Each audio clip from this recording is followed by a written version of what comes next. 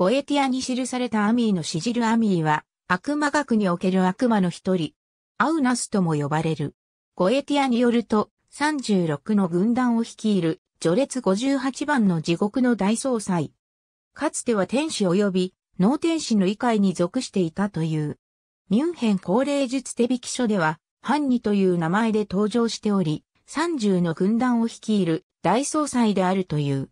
最初燃え上がる炎の形で現れるが、しばらくすると手に長装と生首を持った魅力的な人間の男性の姿をとる。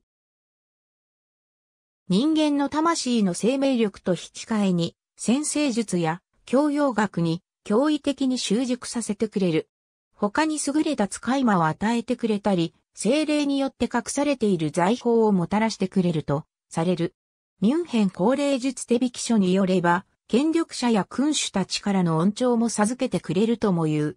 欺瞞、裏切り、悪意、誹謗などの悪事を司り、敵陣営に疑いの種を撒いたり、流言飛語を飛ばすのを得意とする。悪魔の義王国によると、1200年の後に第七、天に復帰することを望んでいるとのことだが、信頼性に乏しい話であるという。